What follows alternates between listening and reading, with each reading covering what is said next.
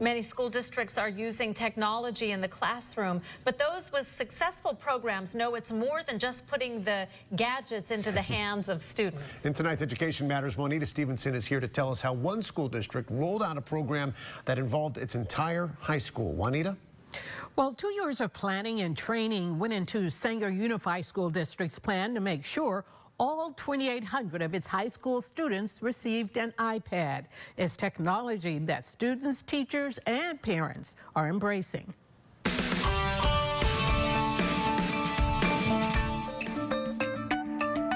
Welcome to Google Classroom. In the digital world, it is called mission control for students and teachers it's kind of like a home base of operations. I can put out assignments digitally, which cuts down on our paper usage. We can have online discussions, maybe that don't finish in time for class so then they can finish it at home. I can put up calendars. This is how you teach when all of your students have access to an iPad.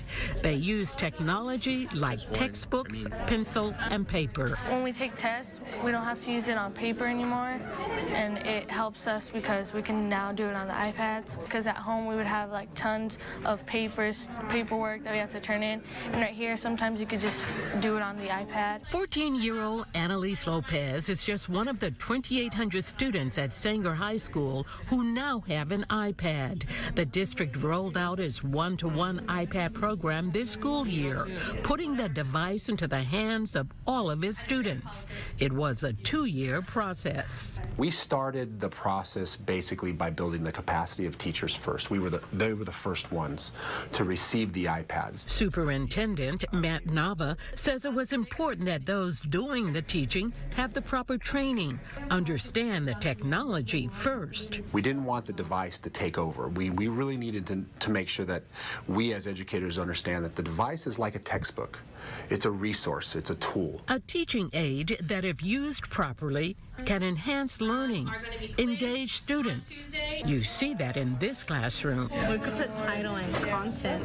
There is a lot of collaboration. I think with the whole technology thing, I think it makes it more like fun. Like kids see it like as a better way. Like who doesn't like an iPad? Teachers say the technology can broaden the classroom, give students access even when they are at home.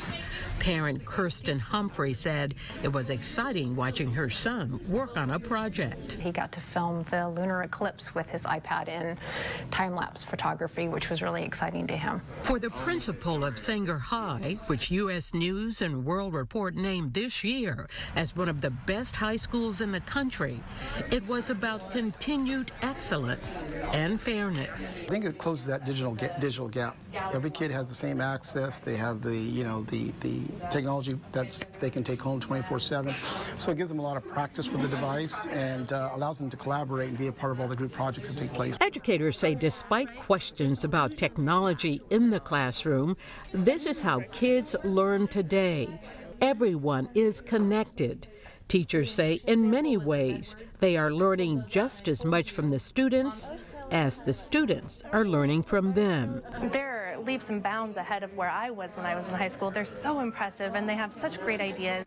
And I'm excited that they have this opportunity because the next generation going into the workforce is going to blow minds.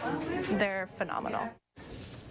Well, Sanger officials say they have security measures in place for the iPads and plan to expand the program to its middle schools next year. That is fantastic. You know, and it can only help the students yeah. do better, you know, as they get older and join the workforce, as you well, say. I mean, everybody's connected today. Yeah. yeah. That's the way we work. iPads aren't cheap, though. No, they're not. How do they pay for all this? Well, a lot of schools did get grants mm -hmm. uh, to do this. Uh, and also, they're rolling it out piecemeal. And, okay. and, and, not only that, uh, they have security measures in place so mm -hmm. they mm-hmm. don't get stolen, broken, and all that kind of thing. Yeah, you can't just show up and say, my dog ate my well, iPad. And, well, there are going to be, no, you, can't know, do that. obviously, there are going to be some cases where some do get broken and such. They, I'm sure they, they, they know what to do to deal with that. They well. do know what to do, and they said what they did is the first week that they mm -hmm. got this, they let the kids just play with it get it out of their system. Yeah. you know. That's a great point. Yeah. Because, yeah. Thank you, Juanita. Appreciate it.